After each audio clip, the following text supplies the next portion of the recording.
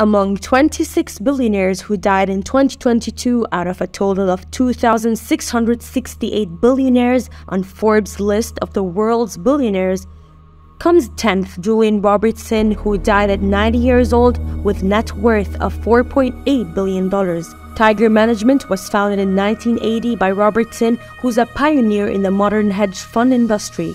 Ninth place comes Rakesh Jhunjhunwala, who died at age 62 with net worth of $5.8 billion, also known as Warren Buffett of India. His biggest asset was watch and jewelry making Titan Company. Eighth place comes Rahul Bajaj, who died at age 83 with a net worth of $8.2 billion from his family business Bajaj Group. Seventh place comes Alberto Baillères, who died at 90 years with a net worth of $8.6 billion. He chaired Industrias Peñoles, Mexico's second largest mining company. Sixth place with net worth of $8.8 billion is Herbert Kohler Jr., who died at age 83 and ran his family Wisconsin-based plumbing company.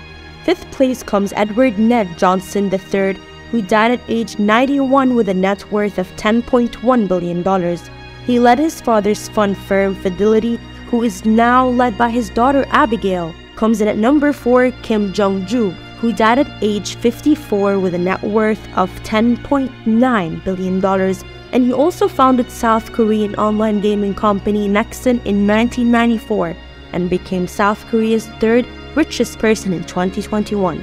Third place comes Pallonji Mistry with a net worth of $15 billion. Mistry chaired the engineering and construction Shapoorji Pallonji Group that built the palace of the Sultan of Oman comes in at number 2 Dietrich Mateschitz with a net worth of $20.2 billion at age 78. He founded Red Bull, which revolutionized the energy drink market in the Western world.